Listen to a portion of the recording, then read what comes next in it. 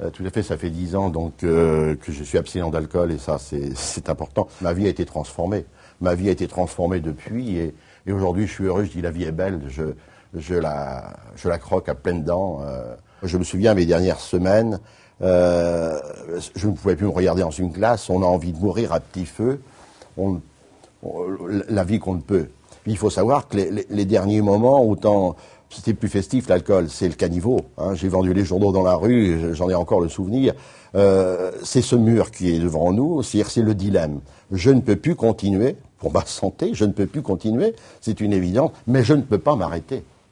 C'est ce dilemme, c'est ce dilemme. On va tout droit dans le mur. Et quand on va tout droit dans le mur, c'est comme le rat pris dans un piège. On est vraiment coincé.